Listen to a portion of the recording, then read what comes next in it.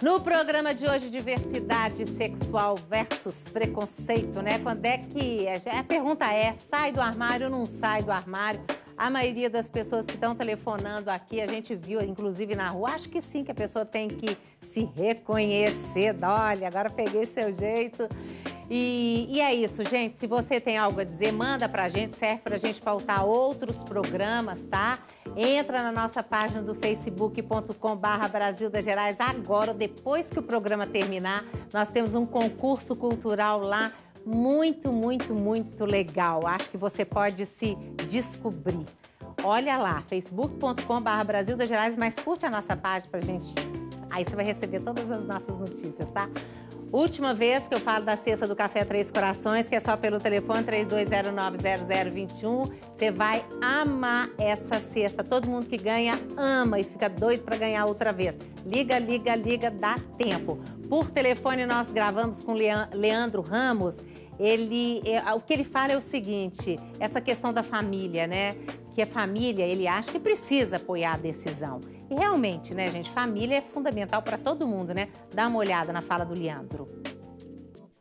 Eu acho que é, a pessoa para poder ter uma segurança e é, demonstrar, é, passar a viver em sociedade com, com tranquilidade com relação à sua é, orientação sexual, primeiramente essa aceitação ela deve existir dentro de casa, né? Na, na responsabilidade e no respeito que os pais devem ter com, com seus filhos, seja homem ou mulher, e que é, tudo isso, o que a gente aprende dentro de casa, a gente transfere para a rua, para a sociedade.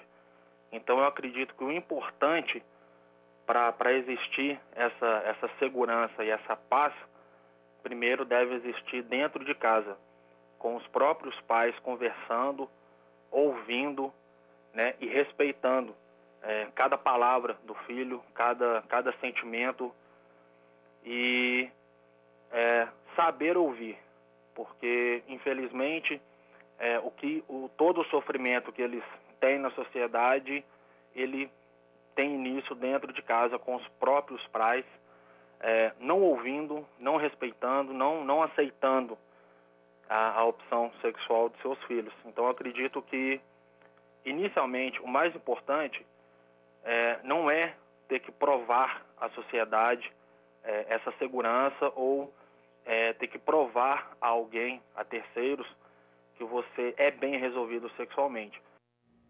Pois é, olha, a opinião dele legal, né? Agora, você, Érica, como é que foi na sua casa? Bom, a minha história é um pouco parecida com a, a da maioria aqui, como a Dolly contou e o Rulê Anderson também falou.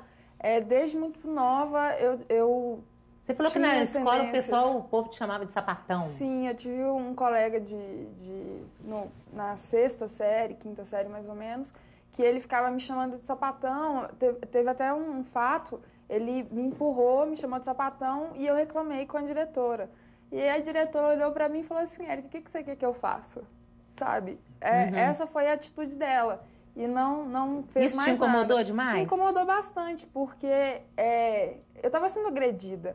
Apesar de que naquela época eu não entendia muito bem que, que era... Que, do que, que ele estava me chamando. Eu só sabia que era algo pejorativo. Uhum. Eu não é, ah, você não sabia falou, nem o significado sim, da coisa. Como, como a, a Dalcira falou, essa questão da informação e da falta de informação, não se fala sobre sexualidade, não se fala sobre orientação sexual.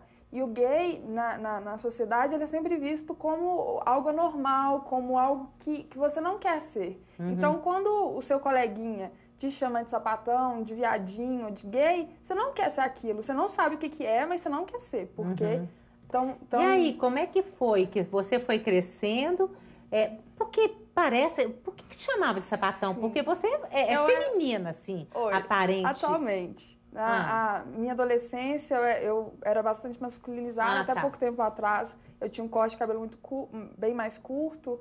E as minhas roupas também. É, então, ficava. Eu tava dentro daquele estereótipo ah, do que tá. é uma lésbica. O que eu tô vendo aqui agora, sim. não tô achando. Sim. Né? Mas, pois é, mas e aí, para assumir para a família e tudo mais? Porque eu sei que até na sua, achei interessante, na sua, na sua é, formatura, você formou Sim. em Direito, você é advogada, Sim. né? A valsa você dançou com a sua namorada, né? E aí, como é que foi a reação da família, dos amigos, do povo todo que estava então, lá? o, pessoal na festa ficou bem surpreso, assim, porque eu acho que eles não esperavam que eu fosse dançar a valsa com a, com a minha namorada. Os meus pais, na hora da valsa, eles não estavam lá, uhum. porque eles me viram com a, com a minha ex-namorada. É, foi a primeira vez que eles me viram beijando uma mulher, então acho que causou um certo estranhamento. A minha mãe eh, me procurou e falou que iria embora mais cedo para eu ficar mais confortável na festa. Eles não ficaram muito confortáveis. Você morava com a família na época, hoje você mora sozinha, né? Sozinha. Uhum. Agora, o que, que fica disso tudo? A pessoa assume, deve assumir? Eu acho que a pessoa deve se assumir, sim, mas a gente tem que, tem que perceber isso, porque depende do outro. E assim como alguém Depende falou, da hora certa depende também? Depende da hora, porque é, é um preparo. Como alguém falou aqui, você tem que ver também que a família também passa por um processo. Então, você tem que perceber se está se tá, se tá na hora de você contar para sua família se ela está preparada também, se você está é. preparado para a reação dela, que pode ser uma reação negativa. Uhum. Então, é uma questão de momento. Pois é, acho. e você, Valmir, que você, eu sei que você reuniu a família, resolveu de uma hora para vou contar e contou. Sim, chegou nesse ápice. e aí, Mas... como é que foi a reação? A reação, eu acredito que é igual a ele colocou as reações e esses processos são muito semelhantes, porque todos acabam vindo de uma mesma realidade. Uhum, mas né? houve frustração dos pais? Houve coisas? uma frustração, uma tristeza, o que acho acredito que é coerente com essa linha de raciocínio que a gente coloca aqui, uhum. né? Mas houve sim. Mas é, chega um momento que se é necessário. Você falou que você não estava aguentando mais, né? Você estava cansado. É, é ruim, de... é muito ruim o homossexual. Ele em diversos momentos na sociedade ele não se reconhece. Aquela coisa tipo, você namora, mas você não fala que namora um homem, um uma mulher é uma pessoa, é um amigo. É, é aquelas questões do dia a dia, igual ela contou da valsa dela. Eu, na minha graduação também, na formatura, eu dancei com meu namorado na época. Então, assim, são essas pequenas ações que vão ajudando a ter um entendimento e uma normalidade diante do assunto. Uhum. Né? E mais do que o se assumir, eu percebo, assim, é a questão do reconhecimento desse processo que aí, naturalmente, ele uhum. vai se é, do que a gente deduz é, como gente, assumir. Né? Porque cada caso Sair é um caso, armário, é um momento, é uma história pessoal, né? Mas cada Verdade. um tem que prestar atenção nisso. Porque olha só, a gente gravou por telefone com a Júlia Silva, porque a Júlia ela sofreu, mas ela sofreu por quê? Ela estava namorando um rapaz que é gay, mas não era assumido, então ela se sentiu assim, usada, ela sofreu, porque ela estava apaixonada, de repente ela viu que o namorado era gay. Olha só o que, é que ela fala acho que cada um é, tem uma opinião, né?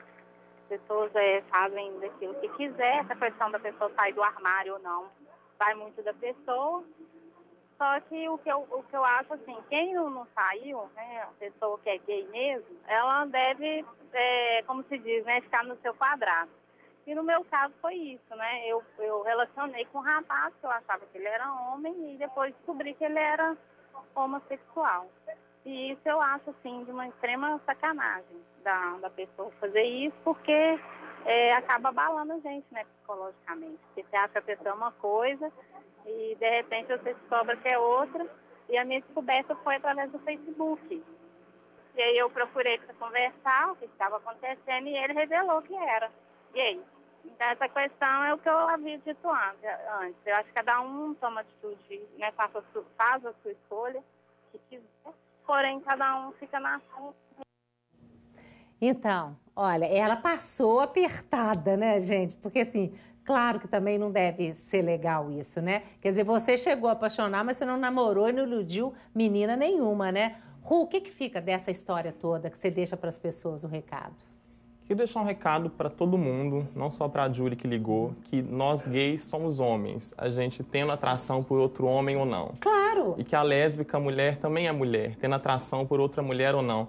E eu acho que nós gays temos que buscar também ajudar a sociedade a compreender o que nós somos. É. O mais difícil para que eu pudesse sair do armário é porque eu não sabia que mundo que eu ia encontrar. Eu estava preso em um armário sem ter informação de que eu tinha um mundo para viver. Uhum. Então, assumir, se aceitar, ser feliz e ajudar o outro a nos entender isso, e a nos respeitar. Isso mesmo. Obrigada, gente. Programa de segunda-feira, Depressão, pedido por telespectadores. Estão terminando com a banda. Aproveite seu final de semana. Tchau, tchau.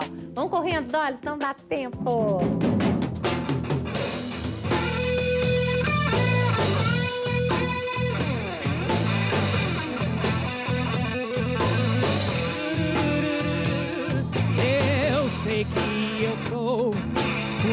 e gostosa. E sei que você me olha e me quer. Eu sou uma fera de pé.